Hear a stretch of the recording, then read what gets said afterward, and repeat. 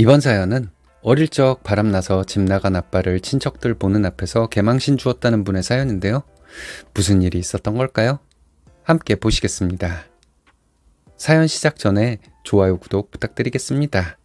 채널에 큰 힘이 됩니다. 안녕하세요. 30대 초반이며 결혼한 지 얼마 되지 않은 새댁입니다. 아빠에게 막말을 했는데요. 이혼을 선언하고 집 나간 아빠가 이제 와서 아빠 노릇을 하겠다고 해서 제대로 창피를 주었습니다. 딸로서 제가 아빠에게 너무한 것인지 제 이야기 한번 들어봐 주세요. 저는 오빠랑 남매이고 고등학교 때 부모님이 이혼하셨습니다. 아빠는 트럭 기사셨는데요. 새벽에 나갔다가 오후에 들어오시기도 하고 오후에 나가시면 새벽에 들어오시는 등 출퇴근 시간이 유동적이었어요. 엄마는 전업주부였는데 아빠랑 맞선으로 결혼을 하셨다고 들었습니다. 선을 보시고 나서 아빠랑 1년 후 결혼하셨다고 합니다. 엄마는 애교가 있는 편은 아니었지만 속정이 깊은 분이었어요. 아빠가 이혼하게 된 결정적인 이유는 오빠가 아빠의 바람 장면을 목격했기 때문인데요. 처음에는 아빠가 모르는 아줌마와 사이좋게 식당에서 밥 먹는 모습을 보았다고 합니다. 저는 어릴 때였기 때문에 남녀가 같이 식당에서 밥 먹는 게 큰일이 아니라고 생각했었습니다. 하지만 식당에서 밥 먹는 것 말고도 여러 차례 오빠가 목격한 게 있었다고 합니다. 오빠는 저랑 4살 차이였고 아빠보다 키가 크고 체격도 좋았어요. 아빠가 바람을 피우는 일로 오빠가 아빠한테 몇 번 대들었고 집안 분위기도 장난이 아니었습니다. 그러다 엄마랑 아빠가 본격적으로 별거를 시작하셨고 아빠가 가지고 있던 재산은 모두 엄마한테 넘긴다는 조건으로 협의 이혼을 하셨던 것으로 기억납니다. 저한테 누구랑 살 건지 정하라고 하셨었고 그와 관련해서 서류도 작성했었거든요. 엄마와 아빠의 이혼이 충격적이어서 공부도 손에서 놓고 멍하니 있던 때도 있었어요. 소득이 없는데 내가 공부해서 대학이나 진학할 수 있을까? 대학에 진학한 후에 등록금은 낼 수 있을까? 하는 걱정이 시작되면서 고등학교를 졸업하고 취업을 해야 하나 하는 미래에 대한 걱정이 많았습니다. 엄마도 결혼하신 후 계속 전업주부로만 사셨기 때문에 앞날이 캄캄하셨을 겁니다. 그나마 오빠는 대학 진학을 하지 않고 입대를 했기에 오빠에 대한 걱정은 하지 않았어요. 오빠 군 입대 후 저는 정신을 차리고 공부를 열심히 했고 좋은 대학에 4년 장학금을 받으며 대학을 다닐 수 있었어요. 장학금을 받으면서도 아르바이트를 쉬지 않고 열심히 할 수밖에 없었습니다. 오빠가 제대하고 취직을 해서 그나마 살림에 숨 쉴 틈이 생겼습니다. 그리고 저는 대학원에 진학해서 기숙사에서 생활할 수 있게 되었고요. 영구조교를 겸하기도 해서 용돈은 걱정하지 않고 공부에만 전념할 수 있었습니다. 대학원 졸업 후에 연구소에 취직하게 되었고 어느 정도 안정적인 생활을 유지하고 좋은 사람을 만나 연애도 하고 있었는데요. 얼마 전 모르는 번호로 계속 전화 연락이 오는 거예요. 전화를 계속 받지 않으니 아빠야 전화 받아 라고 문자가 와 있더군요. 아빠야 라는 글자가 눈에 맴돌면서 뭐지? 하는 생각을 한참 했습니다. 아빠라고 하는 문자를 받고도 전화가 오면 한참을 받지 않았는데요. 여태 나 몰라라 하더니 이제 와서 왜 아빠라고 연락을 하는 건지 이해가 되지 않았습니다. 나중에 용기를 내서 전화를 받았는데 밥 한 번 사주고 싶다는 거였어요. 그렇게 약속 시간과 장소를 잡고 만나러 나갔는데 처음 보는 아줌마랑 같이 나왔습니다. 저는 인사를 하고 무슨 일로 불렀냐고 물어보았어요. 아빠는 가족이라는 년이 있으니 만나서 밥 먹자고 하는데 무슨 이유가 필요하냐며 동행하신 분은 아빠랑 친한 지인이라고 소개를 해주는 거였어요. 속으로 기가 막히고 어처구니가 없었지만 참아내고 식사를 하고 헤어졌습니다. 밥이 코로 들어가는지 무슨 음식을 먹었는지 기억도 나지 않았는데요. 헤어질 때에는 다음에도 종종 만나자며 용돈 봉투를 주시는 거예요. 20만 원이 들어 있었는데 기숙사에 와서 한참을 들여다보고 버릴까 생각해 보았습니다. 하지만 돈이 무슨 죄예요? 이렇게 받은 돈을 버리는 게 의미가 없다고 생각했고 아빠를 어떻게 응징해 줘야 할지 머릿속에 하나하나 구현해 나가기 시작했습니다.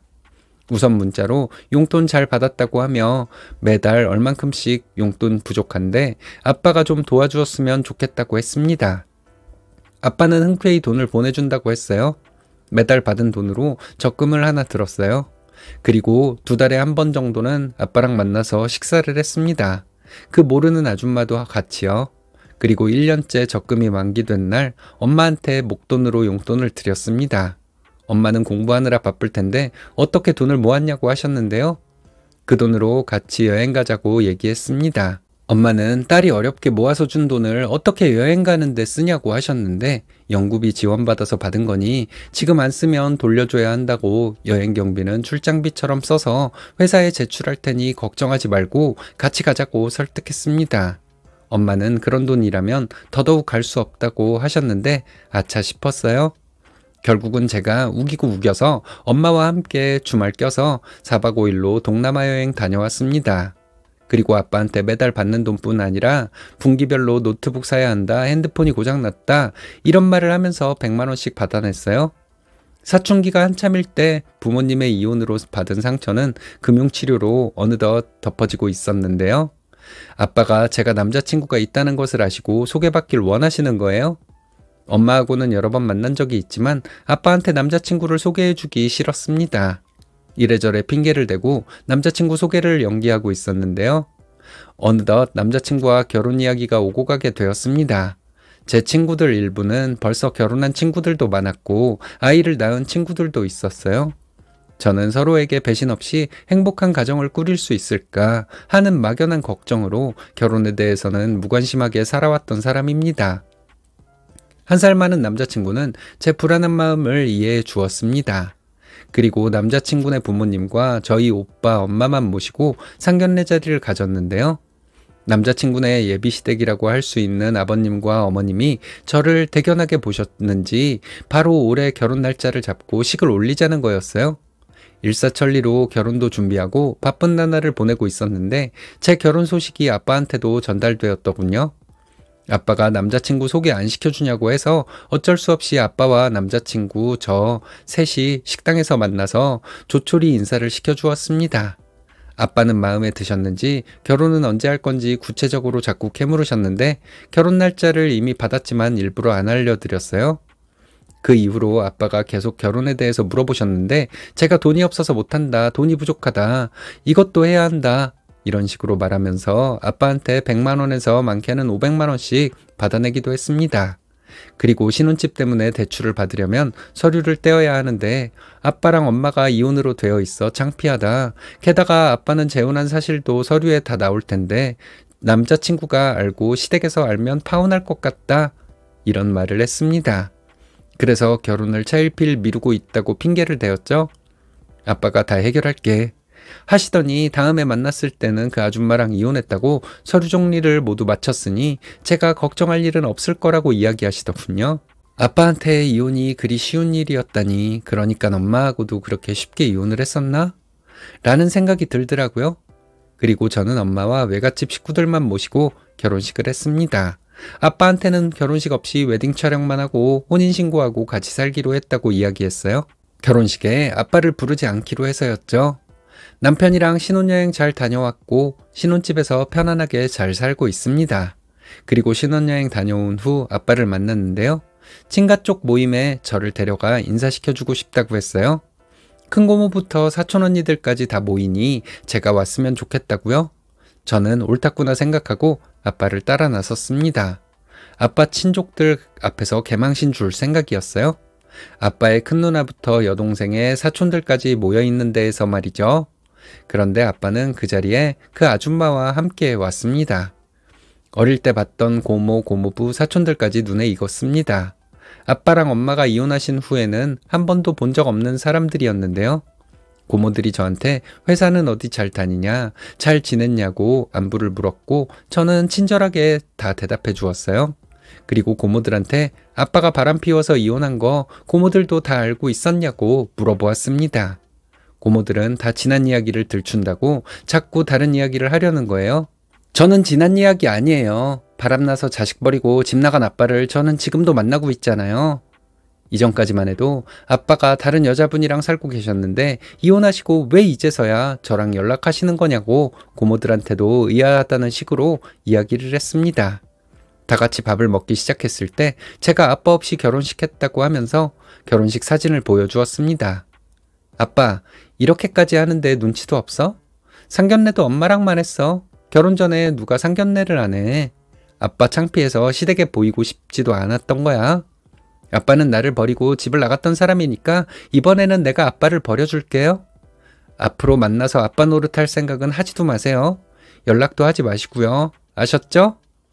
이렇게 말하고 그 자리에서 나왔습니다.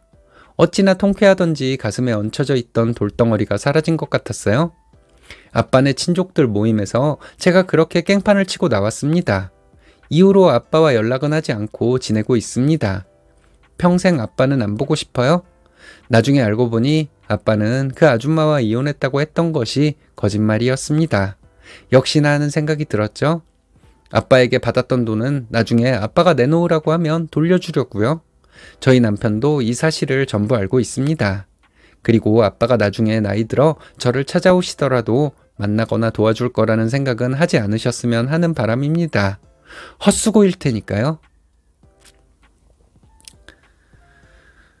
아빠가 이제야 쓰니님을 찾는 것은 노후를 위한 보험으로 생각해서 그런 것 같네요. 나를 버리고 나가버린 아빠는 주워다 키우는 거 아닙니다. 시원하게 응징해서 속 시원하시다니 다행이네요. 멋지십니다.